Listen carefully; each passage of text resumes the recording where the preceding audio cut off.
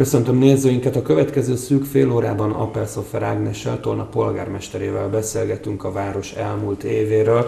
Köszöntöm polgármester asszony, hát milyen 2019-et zárt Tolna?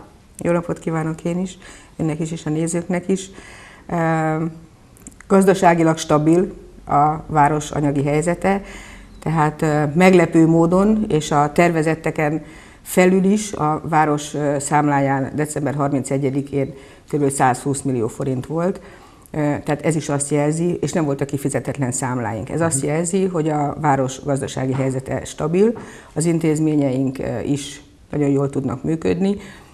Ez az első, ami, ami nagyon fontos, hogy nem hiányjal kezdjük az évet, és nem kifizetetlen számlákat kell most pótolnunk, vagy rendeznünk, hanem, hanem, hanem egy plusz záróösszeggel kezdjük a, a, az új évet. Gondolom, én a azt gondolom, megvan.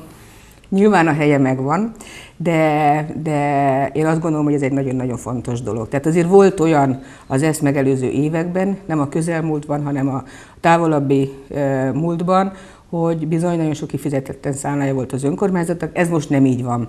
És akkor, amikor a költségvetést tervezzük, ugye december, február közepéig kell a települések költségvetését elfogadni, akkor mindig egy kis bizonytalanság van benne. Az utóbbi években főleg azért volt bizonytalanság, mert a projektjeinket láttuk, hogy, hogy plusz forrást fognak igényelni ezek a bizonyos topos pályázatok, de olyan jól dolgoztunk, és olyan remek projekteket nyújtottunk be, hogy eddig megkaptuk a, azokat a plusz támogatási forrásokat a, a kormánytól, amiket mi benyújtottunk, tehát plusz támogatást nyertünk a, az idősek klubjának a felújítására is, a, a Zöldváros Dunaparti projekt felújítására is, és a most folyamatban lévő játszóház kialakítására is.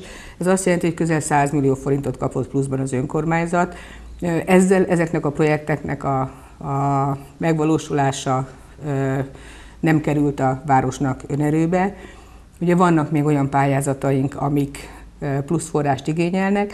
Ehhez nyújtottunk be még támogatási igényt az energetikai korszerűsítésre, ott még nem érkezett pozitív támogatói döntés, de elutasítás sem. És addig, amíg nem kapunk elutasító döntésről ö, ö, semmit, addig én azt gondolom, hogy bízhatunk abban, hogy ott is kapunk.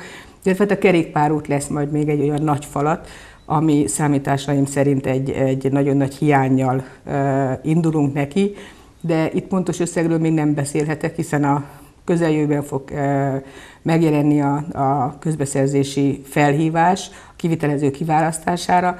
Akkor a tervek már megvannak? A tervek megvannak, az engedélyek megvannak, tehát most jön el az a pont, amikor ki tudjuk választani a kivitelezőt. Nekünk van egy becsült összegünk, de én azt gondolom, és a tapasztalataim alapján azt állítom, hogy minden bizonyal nem lesz elég az a forrás, ami rendelkezésünkre áll. Nyilván itt is fogunk plusz támogatást igényelni a kormánytól, és itt nem csak nekünk kell a zsebünkbe nyúlni, hanem Fad nagyközségnek is, hiszen a kerékpárút szakaszának a nagy része. A Tolna-Dombori kerékpárút. Tolna-Fad, illetve a, a Fad-Dombori kerékpárútról van szó. Tehát Fad közigazgatási területén van a hosszabb szakasz. Ez azt jelenti, hogy nekik akár nagyobb összeget is ebbe, ebbe be kell fektetniük ebbe a pályázatba. Én azt gondolom, hogy annyira azért nem állunk jól egyikünk se, hogy, hogy ehhez több tíz, esetleg 100 millió forintot hozzá tudjunk tenni. Itt is számítunk a kormány pozitív támogatására. Hát akkor összességében azt lehet mondani, hogy Tolnának semmilyen beruházásról, fejlesztésről nem kellett lemondani az anyagiak miatt. Nem.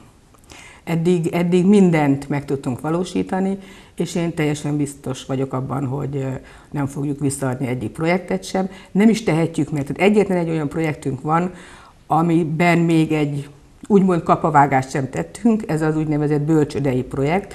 Ugye támogatást nyertünk a tavalyi év második felében egy kétcsoportos bölcsöde építésére, és itt azt a, azt a támogatási összeget kaptuk meg, amit benyújtottunk, tehát több mint 457 millió forintot kaptunk.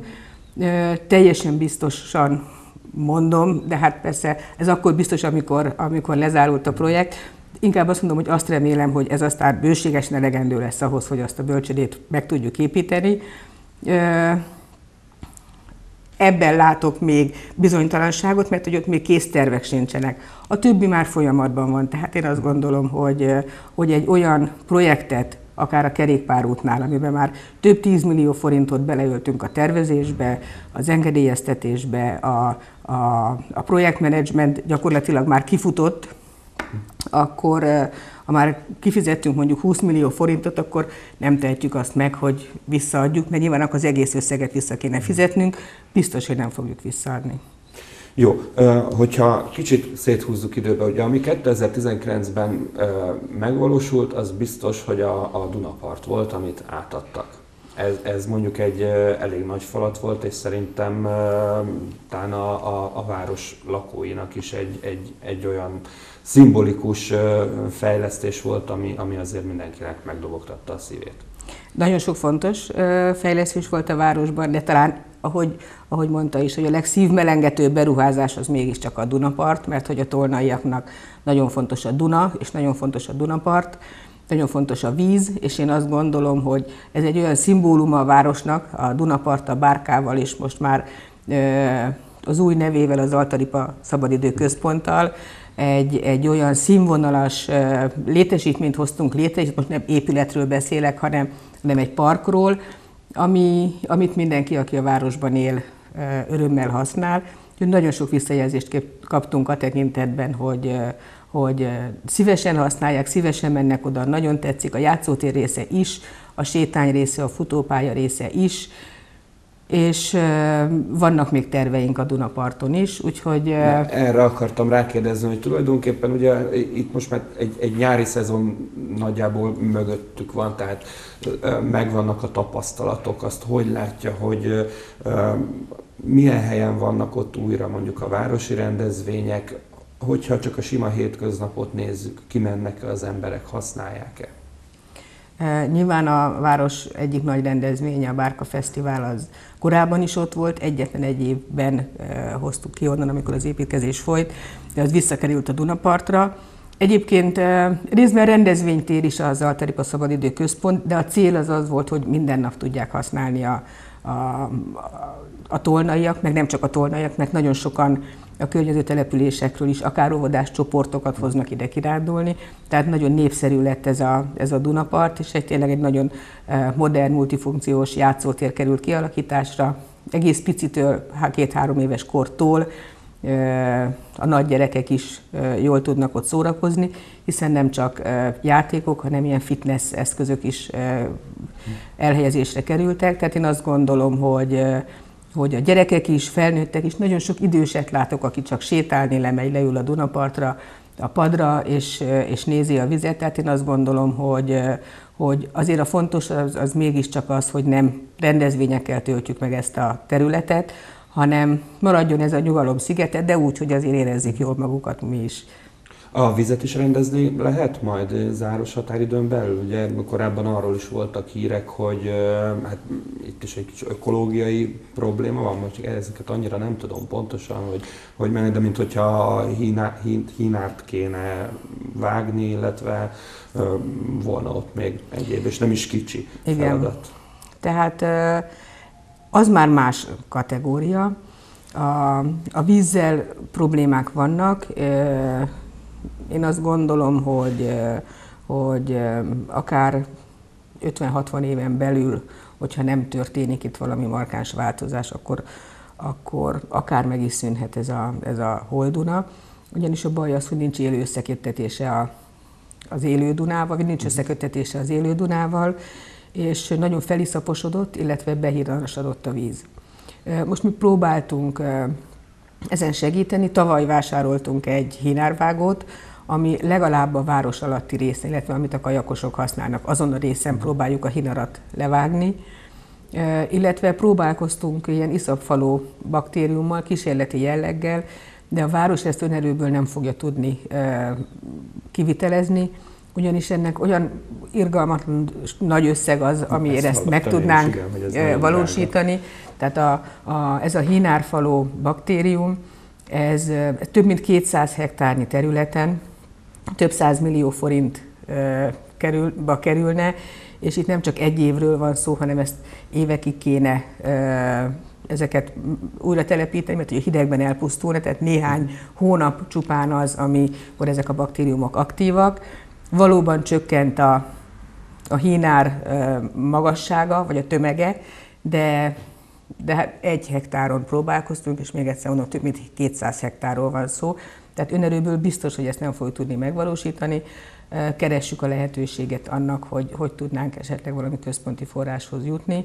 Nyilván a cél az, hogy ne csak Dunapart legyen, hanem Duna is legyen, meg víz is legyen, és, és cél az is, hogy ugyan nem fürdeni, de legalább horgászni és korcsolyázni lehessen a Tornai Dunán. Úgyhogy mindent meg fogunk tenni ezek után is, hogy a Dunadráva Nemzeti Park szakembereivel közösen valami megoldást találjunk erre. Hogyha beérjövünk a városba, akkor az idősek klubját is sikerült hát rendbe rakni, de hogy úgy mondjam, felújítani. Igen, hát a leg, legnagyobb összegű e, beruházás a tavaly évben a Dunapart volt, de hát azért voltak kisebbek is, ami nem 300 millió körüli, hanem akár csak 100 millió forint körüli beruházás volt. Ez a, ami, ami egy nagyon nagy összeg egyébként 100 millió forint még a város költségvetésében is.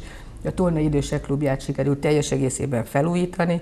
Én azt gondolom, hogy, hogy ez egy nagyon sikeres beruházás volt. Nagyon jól érzik magukat a, az ott lévők, és nagyon vidáman telnek a napjaik. Többször voltam náluk én is, és, és azt látom, hogy nagyon szívesen járnak oda. Remélem még hosszú évekig, akár ők, akár majd a, a további, vagy a későbbiekben mások is fogják használni ezt a létesítményt.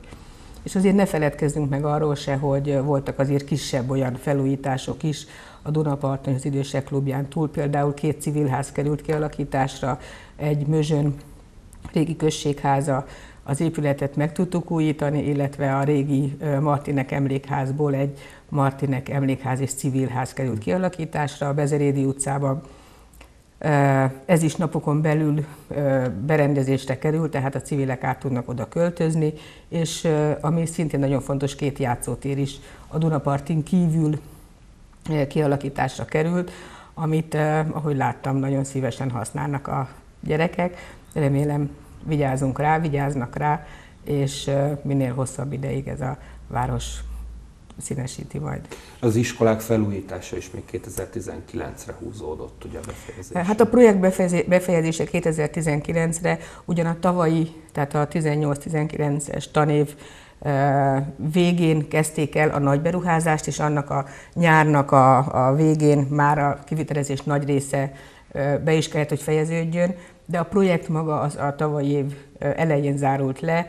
Itt a három iskola épületet korszerűsítettünk, illetve az Ötvös utcában, illetve a Bartóbéla utcában egy ebédlő került kialakításra. Tehát függetlenül attól, hogy az iskolák már nem az önkormányzathoz tartoznak, sem a fenntartásuk, sem a működtetésük, nagyon fontos számomra is a képviselőtársaim számára, hogy a tolnai gyerekek, a tolnai pedagógusok minél modernebb, minél szebb épületekbe tudjanak dolgozni, és ezután is mindent meg fogunk tenni, hogy ez így legyen. Egy lényeges esemény volt az önkormányzati választás, nyilván Tolnán is, ahogy az összes többi településen, illetve városban. Fölállt az új testület, miben más változott-e valami? Néhány új képviselőt is választottak a képviselőtestületbe.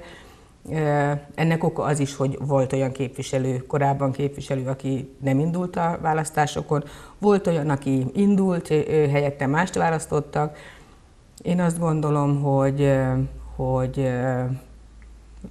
ugyanolyan jól fog tudni működni ez a képviselőtestület is, mint a korábbiak. Tehát eddig ugye két rendesülésünk volt, az alakulülésen túl a novemberi és a decemberi. Én azt gondolom, hogy hogy kizárólag szakmai viták, beszélgetések, kérdések, vélemények fogalmazottak meg, ami viszont nagyon fontos. Tehát Korábban egyáltalán nem jó az, így van. Tehát, hogy én nem vagyok annak híve, hogy az történjen, amit a polgármester mond, az nem jó, és egyébként, amit én mondok, vagy az én nevem alatt megy ki az előadó, az előterjés, ez nem azt jelenti, hogy én találom ki, hiszen ebben a hivatalban nagyon sokan dolgoznak.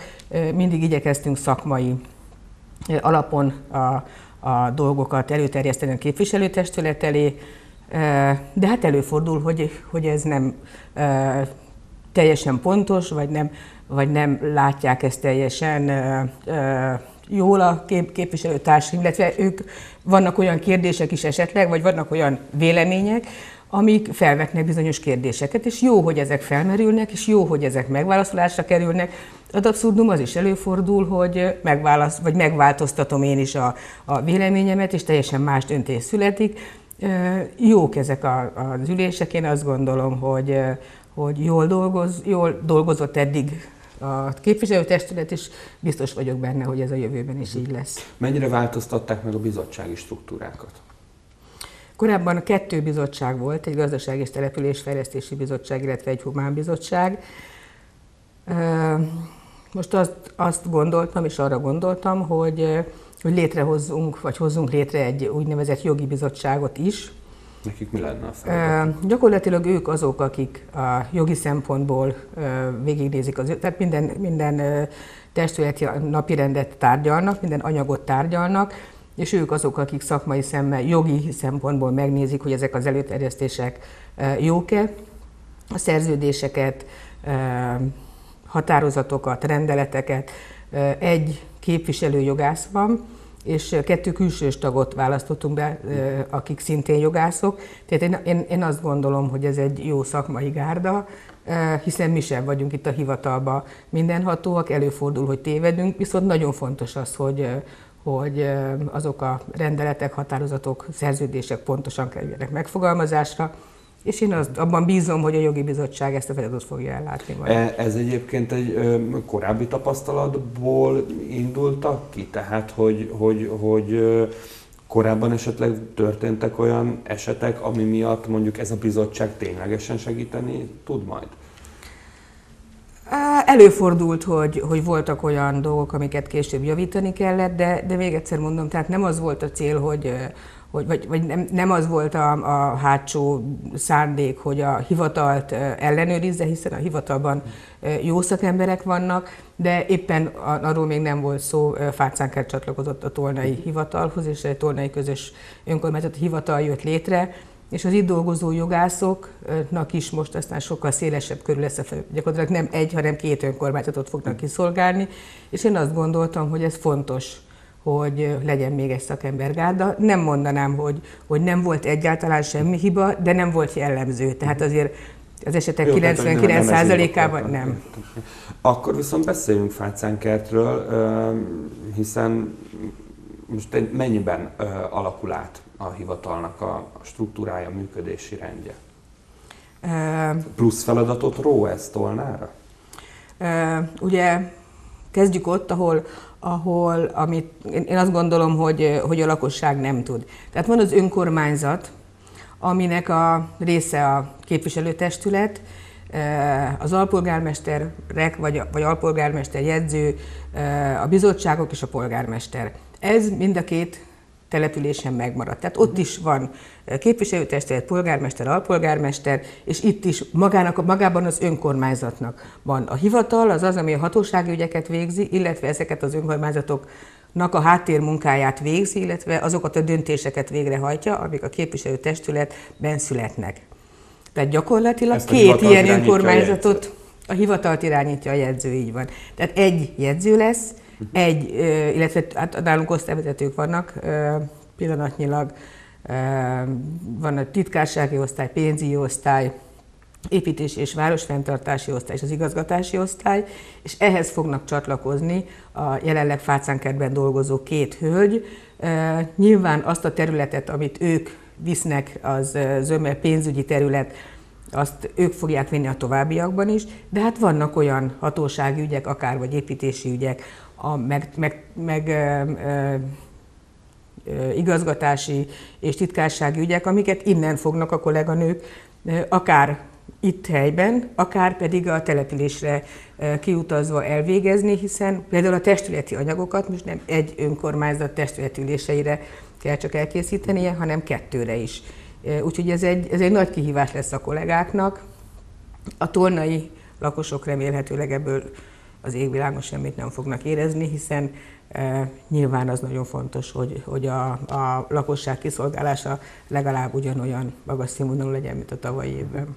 Egy új munkacsoportot is létrehoztak, ami a közlekedéssel foglalkozik. Ennek milyen célja van? E, nagyon, nagyon e, próbálom szépen fogalmazni, mert elég, elég nagy indulatok vannak, nem, csak, nem bennem feltétlenül, hanem a városlakókban. Kevés a parkolóhely, sok az autó, rosszak a, a, a, az út, gyakorlatilag a, közle, a közlekedési infrastruktúrák mondjuk úgy, hogy nem tökéletes. És Gondolkodtunk azon az elmúlt években alpolgármester úrral, osztályvezető úrral, a kollégákkal, hogy hogy lehetne ezen javítani. Azon túl, hogy tudjuk, hogyha mondjuk egy milliárd, egy milliárd forintot kapnánk, akkor minden bizonyal fel tudnánk az utakat, vagy azoknak egy jelentős részét újítani. De hogy ezen túl, hogy tudnánk legalább ezt az állapotot megőrizni, hogy ne romoljon tovább az utak minősége. És arra következtetésre jutottunk, hogy lehet, hogy felül kéne a forgalmi rendet vizsgálni a városban. Ez azt jelenti, hogy vannak keskeny szűk utcák, és vannak olyan utcák, ahol ugyan maga az utca nem szűk, de viszonylag keskeny az úttest.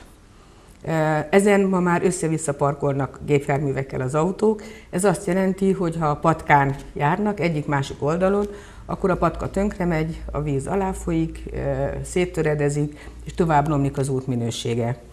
Részben ezzel indokolva hoztuk létre ezt a munkacsoportot. Ők most felül fogják vizsgálni a város egészében a forgalmi rendet, és itt nem képviselők ennek a munkabizottságnak a tagjai, hanem a, a rendőrparancsnok úr például, vagy a polgárőrség egy képviselője, Suk Dezső, vagy vagy Gult képviselőtársam, aki nem is képviselőként, hanem inkább autós oktatóként talán egy kicsit gyakorlati szempontból is, nem csak elméleti szempontból megközelítve tudja az észrevételeit megtenni, illetve a hivatalból két olyan kollega, aki ezzel foglalkozik, a közterületfelügyelő például, aki, aki kint van az utcán és látja, hogy milyen problémák vannak. Ez azt jelenti, hogy a munkacsoport összeül, kimennek, mindent megnéznek személyesen, tehát nem csak egy térképet vesznek elő, és megnézik, hogy a forgalmi renden hogy lehetne változtatni, akár úgy, hogy egyirányosítunk utcákat, nyilván ennek a feltételeit meg kell teremteni, eh, hogy tudnánk a szabályokat betartani. Mert eh, nagyon sok esetben azt látjuk, meg azt tapasztaljuk, hogy betemetik az árkokat, eh, leaszfaltozzák, vagy lekövezik a, a házak előtt lévő területet, akár még úgy is, hogy az árkokat betemetik, ez is hozzátartozik ennek a munkacsoportnak a munkájához, hogy nézzük meg, hogy hogy, hogy lehet egységesen kezelni. Hiszen a, az út sok esetben azért megy tönkre, mert az árkot betemették, a víz nem tud hova elfolyni, elmegy az út alá, és akkor megint, ahogy az előbb említettem, tönkre megy az út ettől. Tehát ez egy nagyszabású változás lesz a város forgalmi életében. Viszont ez folyamatos változás. Folyamatos változás, ez is nyilván folyamatosan tájékoztatni fogjuk a, az itt élőket, táblákat fogunk kihelyezni, és nem egyszerre, reményeim szerint nem egyszerre fogjuk ezt bevezetni, hanem, hanem részenként. Türelmet kérünk, én gondolom, hogy ez nem egy népszerű döntés, amit hozni fogunk, de semmiképpen nem azért hozzuk ezeket a döntéseket, hogy úgymond kiszúrjunk a tolnai lakosokkal, meg az itt közlekedőkkel, hanem azért, hogy biztonságosan tudjanak közlekedni, és még egyszer mondom, a közlekedési infrastruktúrát pedig tovább ne roncsuk. Nagyon fogy az időnk, de néhány szóban azért tényleg a 2020-as tervekről említettük már, de mégis akkor így összefoglalóan mi az, ami, ami feltétlenül az önkormányzat előtt áll, és mindenképp megvalósítandó, illetve mi az, ami, ami azért jó volna, ha beleférne. Ami, ha csak valami katasztrófa helyzet nem lesz, akkor teljesen biztos, hogy, hogy a nyári gátadásra kerül az a Tolnai játszóháza volt Laktanya területén. Éppen tegnap láttam, hogy már a nyilázárókat is, nyilázárókat is behelyezték a tetőt, folyamatosan újítják fel, tehát ott a, már a kivitelezés a téli hónapokban is folyik. Ez biztosan meg lesz.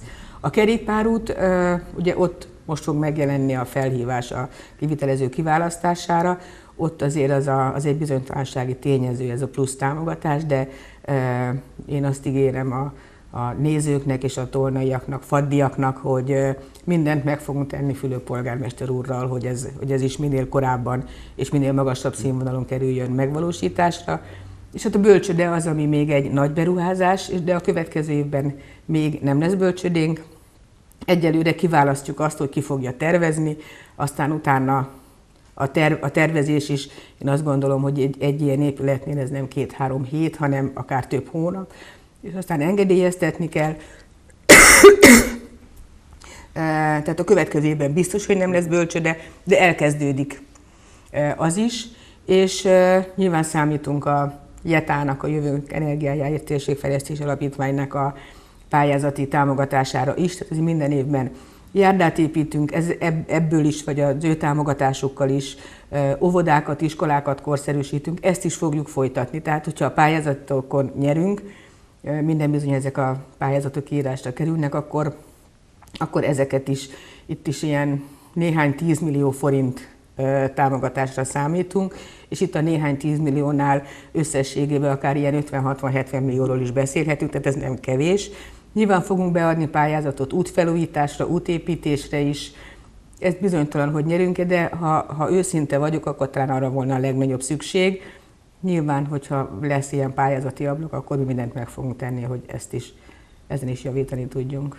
Akkor ehhez a munkához kívánunk jó egészséget és sok sikert. Köszönjük szépen, hogy a rendelkezésünkre állt a nézőknek pedig a figyelmet. Köszönjük viszontlátásra.